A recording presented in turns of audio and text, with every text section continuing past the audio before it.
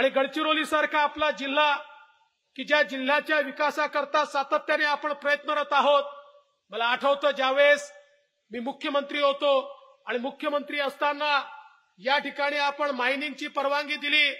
त्याच वेळेस मी त्यांना सांगितलं की आमच्या जिल्ह्याचा उपयोग वसाहतीसारखा करू नका. पैसा आमच्याकडे कमवायचा आणि खनिज दुसरीकडे न्यायचे रोजगार तिसरीकडे द्यायचा हे चालणार नाही. याच ठिकाणी तुम्हाला इन्व्हेस्टमेंट करावी लागेल. याच ठिकाणी तुम्हाला लोखंडाचे पोलादाचे कारखाने उभारावे लागतील. आणि मग पहिल्यांदा कोणसरीमध्ये आपण जागा दिली. त्या ठिकाणी भूमिपूजन झालं. आज ते काम जवळपास पूर्ण होत आहे. आणि मध्यंतरीच्या काळामध्ये ज्यावेळी अडचणी आल्या त्यावेळी सुदैवाने आपले आताचे मुख्यमंत्री पालकमंत्री होते त्यांनी मदत केली. आणि आम्ही हे बंद पडू दिलं नाही. पुन्हा सरकार आलं. पुन्हा सरकार आल्यानंतर मला अतिशय आनंद आहे. आम्ही पुन्हा इन्व्हेस्टर्सला बोलवलं. त्यांना सांगितलं माल जर गडचिरोलीचा आहे पहिलं इन्व्हेस्टमेंट गडचिरोलीत होईल. मग अधिकचा माल असेल तर चंद्रपूरला होईल. मग अजून अधिकचा माल असेल तर वर्धेला होईल. त्यामुळे सगळ्यात पहिल्यांदा तुम्हाला गडचिरोलीलाच प्राधान्य द्यावं लागेल. आणि वीस हजार कोटी रुपयाची इन्व्हेस्टमेंट ही गडचिरोलीमध्ये आपण मंजूर केली. त्याला सगळ्या प्रकारच्या मान्यता आपण दिल्या.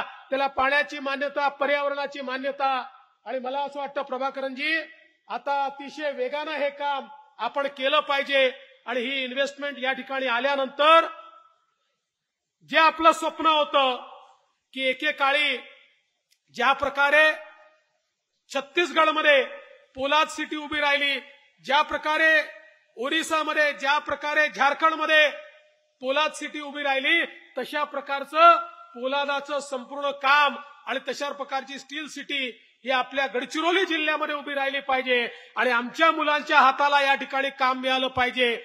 हे स्वप्न आता आपण निश्चितपणे पूर्ण करतो आणि यातनं मोठ्या प्रमाणात अजून मोठ्या प्रमाणात लोक आपल्याकडे आकृष्ट होत आहेत. अजून इन्व्हेस्टमेंट या ठिकाणी येते. आता नुकतंच मुख्यमंत्र्यांच्या नेतृत्वामध्ये आम्ही या ठिकाणी मायनिंग ब्लॉकचं ऑप्शन केलं. सांगताना आनंद वाटतो. अतिशय ट्रान्सपरंट पद्धतीने केलं. आणि देशातले जे सगळे मोठे मोठे उद्योगपती आहेत या सगळ्या मोठ्या उद्योगपतींनी गडचिरोलीमध्ये या ठिकाणी येण्याचा निर्णय घेतला.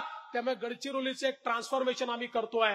पण हे करत असताना या गडचिरोलीची परंपरा या गडचिरोलीची संस्कृती या गडचिरोलीची वनसंपदा या गडचिरोलीतल्या पर्वतराजी यातल्या कुठल्याही गोष्टीच्या केसालाही धक्का आम्ही लागू देणार नाही. हा देखील आमचा या ठिकाणी निर्धार आहे. या ठिकाणी मायनिंग झालं तरी गडचिरोलीची जी संस्कृती आहे आमची जी दैवत आहे आमची जी झाडं झुडपं आहेत आमचं जे जंगल आहे आमची जी जमीन आहे आमचं जे जल आहे ज्याच्याकरता भगवान बिरसा मुंडांनी झारखंडमध्ये आणि बाबूराव सेडमाकेंनी आमच्या चंद्रपूर गडचिरोलीमध्ये एक मोठं आंदोलन छेडलं. कुठल्याही परिस्थितीत कोणालाही त्याला हात लावू देणार नाही.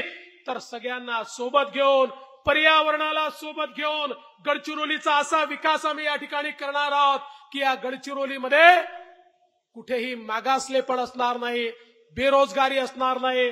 गडचिरोलीचा आदिवासी असेल किंवा ओबीसी असेल प्रत्येक तरुणाईच्या हाताला काम मिळेल. अशा प्रकारचं गडचिरोली घडवण्याचं काम हे येत्या काळामध्ये आपण करतोय.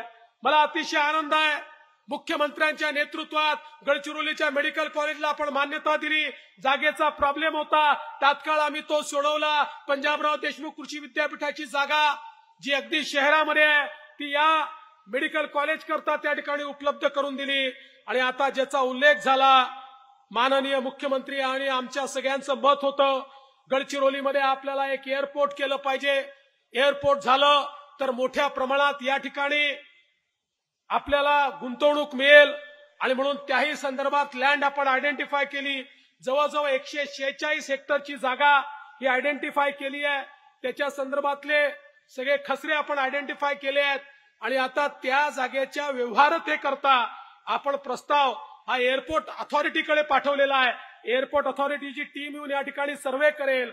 आणि त्यांना जर ती उपयुक्त आणि उपयोगी अशा प्रकारची जागा वाटली तर जे आपलं स्वप्न आहे गडचिरोलीला एक एअरपोर्ट झाला पाहिजे.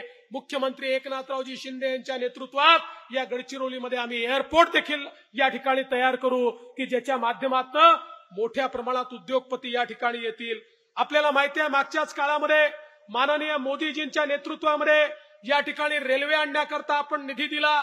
त्याचे सगळे अडचणी आपण दूर केल्या. आता ते काम अत्यंत वेगाने आपण या ठिकाणी सुरू केलेलं आहे. आणि मला असं वाटतं की मोठ्या प्रमाणात हे जे काही काम या ठिकाणी होत आहे मोबाईलचे टावर्स आपण तयार करतोय.